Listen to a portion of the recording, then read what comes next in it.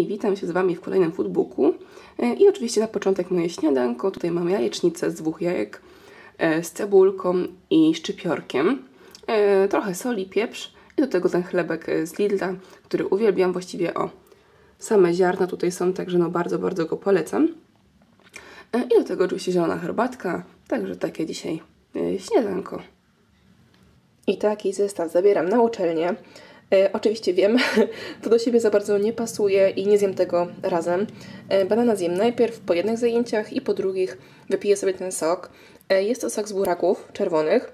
Jest to sok naturalny, 100%, e, także jest tłoczony, naturalnie mętny, nic koncentratu e, i bez dodatku cukru.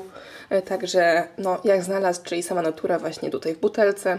E, dla, dla zdrówka, czemu nie? Warto wypić, a mi e, takie warzywne soki nie przeszkadzają, tak samo z pomidorów e, jak najbardziej lubię, także dzisiaj takie właśnie, można powiedzieć, przekąski na uczelnię w ramach drugiego i trzeciego śniadania, bo to oddzielę sobie właśnie, nie zjem naraz, także to będzie mój drugi i trzeci posiłek. I tak wygląda mój dzisiejszy przepyszny obiadek, czyli makaron ze szpinakiem, z fetą, E, cebulą, czosnkiem, jogurtem naturalnym, e, czyli właściwie tak, taki sam obiad jak ten, e, który mm, widnieje na moim kanale w formie właśnie przepisu już od dłuższego czasu, także możecie sobie zobaczyć.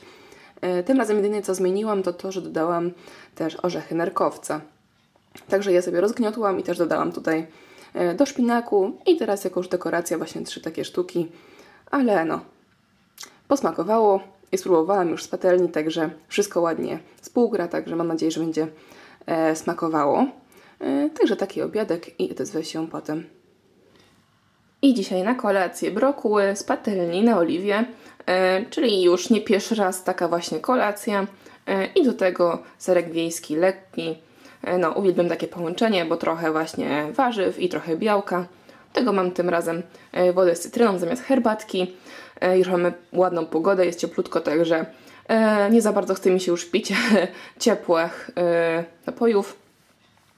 Także woda, zimna woda z cytrynką i takie właśnie połączenie dzisiaj na kolację. Także tak wyglądał mój dzisiejszy foodbook.